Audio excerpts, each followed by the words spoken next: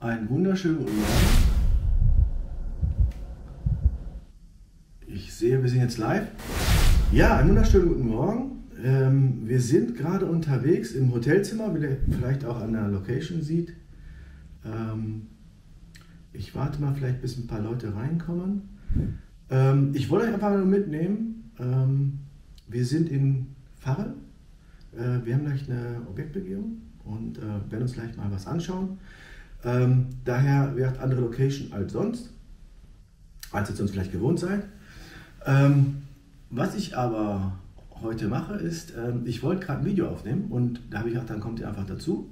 Ähm, es geht um das Thema Immobilienverkauf steuerfrei. Wann ist er steuerfrei? Ja, gib mir ruhig Herzen, das ist super.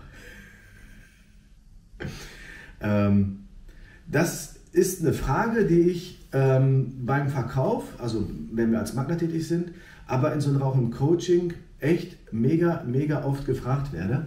Ähm, das Ding ist halt, ähm, Immobilienverkauf steuerfrei, wenn du dabei einen Fehler machst, das ist, ähm, kann mega, mega teuer werden. Ähm, das Finanzamt hat wie immer ähm, harte Grenzen. Ne? Äh, daher ist es wichtig, dass man das beachtet. Wenn du dazu Fragen hast, konsultiere einen Steuerberater. Selbst wenn du keinen hast, das Geld ist gut investiert. Ne? Aber ich nehme das Video mal kurz auf. Die Kamera steht da, deswegen ich wundere mich, dass ich ähm, nicht direkt in die Kamera reingucke. Ähm, und ähm, ja, ansonsten, wenn ihr Kommentare habt, ich lese sie gleich durch, wenn das Video aufgenommen ist. Dann bin ich mal gleich gespannt auf eure Fragen. So, herzlich willkommen. In der heutigen Folge geht es um das Thema Immobilienverkauf. Wann ist der steuerfrei? Du erfährst, welche Möglichkeiten du hast, wann ähm, deine Spekulationsfrist abläuft, welche Regelungen dazu gibt und ich gebe noch zwei, drei Tipps, die vielleicht nicht allzu gängig sind. Ähm, wenn du also bis zum Ende dran bleibst, dann ähm, erfährst du auch das.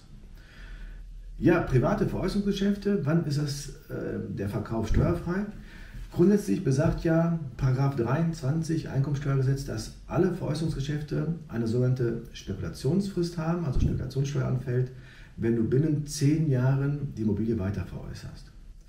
Wenn du das tust, wird die Differenz zwischen Kaufpreis und Verkaufspreis ähm, mit deinem persönlichen Steuersatz, den du privat hast, berechnet.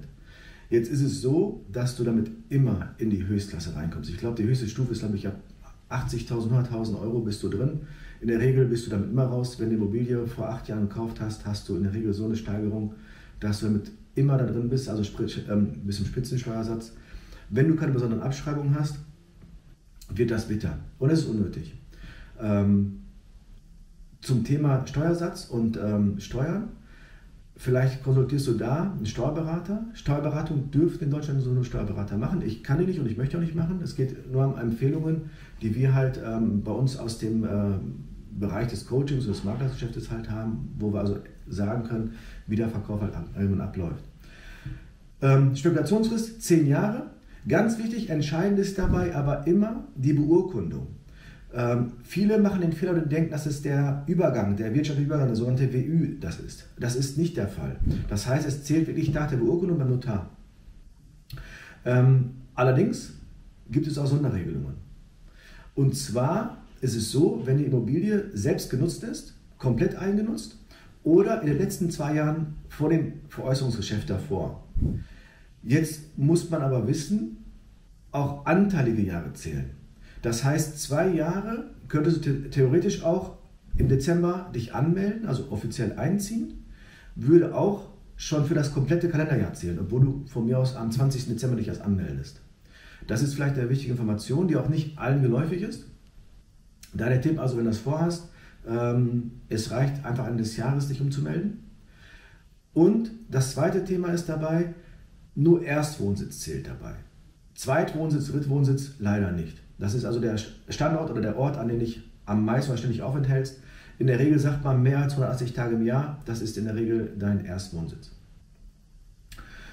Ähm, steuerfrei kannst du verkaufen an Angehörige. Ähm, dazu zählen aber nur die Kinder nach Steuerrecht und auch nur Kinder, die selbst noch Kindergeld kriegen. Ähm, das heißt, damit ist sich der Kreis äh, sehr, sehr eingeschränkt. Ähm, wichtig ist noch dabei, ähm, dass du in dem Fall des Verkaufs an Familie keine Grunderwerbsteuer bezahlst. Grunderwerb ist aktuell in NRW 6,5 Prozent. Ähm, das heißt, man kann da unter Umständen viel Geld mit sparen, wenn man das Ganze richtig macht. Ich kann dir auf jeden Fall empfehlen, wenn du verkaufen möchtest, denk unbedingt daran an die 10 Jahre Spekulationsfrist, falls die Immobilie nicht selbst benutzt ist. Ähm, konsultiere notfalls auf jeden Fall einen Steuerberater dazu, ähm, weil wenn du da einen Fehler machst, Finanzamt hat ja immer sehr, sehr starke Regeln oder sehr starre Regeln. Das heißt, wenn du auch nur einen Tag zu früh oder zu spät dran bist, ist die gerissen und damit hast du alles äh, erreicht oder halt gar nichts. Da gibt es auch kein Nachverhandeln. Deswegen ist es mir unbedingt wichtig, dass du dabei ähm, keine Fehler machst. Ähm, das zweite ist, ähm, die richtige Immobilie zu finden und zu verkaufen ist immer eine sehr wichtige Sache dabei. Ähm, erst recht, wenn du Immobilien seit zehn Jahren Bestand hast, hast du in der Regel einen äh, extrem guten ähm, Gewinn gemacht. Wenn die Immobilie sich nicht deutlich verschlechtert hat, hast du in der Regel den Preis äh, ruhig verdoppelt bis verdreifacht. Das ist durchaus realistisch. Äh, von daher geht es dabei um viel Geld. Und wenn du das mit dem persönlichen Steuersatz versteuern musst, was automatisch in den Höchststeuersatz reinkommt, ähm, lohnt sich auf jeden Fall, da mal ein, zwei Stunden sich mit zu beschäftigen. Wenn du dazu Fragen hast oder zu anderen Themen Fragen hast, ähm, dann komm zu uns ins Coaching. Ähm, dort erfährst du das und noch viel mehr. Ähm, hast einen 1 zu 1 Call, du hast die Möglichkeiten, direkte Fragen, direkt Antworten darauf zu kriegen. also von daher würde es mich freuen. Ich verlinke unten einmal Paragraph 23 Einkommensteuergesetz, das ist nämlich da, ähm, wo alles drin geregelt ist, so mal zum Nachlesen. Ähm, und wenn du ähm, ins Coaching-Team reinkommen möchtest, also dich darauf bewerben möchtest oder Interesse daran hast, dann verlinke ich auch nochmal unsere Landesseite. Da kannst du einen Gesprächstermin buchen. dort wirst du dann mit meinem Team einmal äh, dich unterhalten, wo wir mal gucken, wo du stehst, wo du hin willst und ob wir dich dabei unterstützen können. Und ähm, alles weitere stimmt man persönlich ab. Ich freue mich auf dich. Bis bald. Liebe Grüße. Gottschling Immobilien erstellt hochwertige und trotzdem ungeschönte Inserate. So haben auch wir unser Traumhaus gefunden. Einzeltermine, vollumfängliche Beratung und schnelle und verbindliche Aussagen haben uns in der Entscheidung bestärkt, das Haus zu kaufen. Wir sagen endlich zu Hause.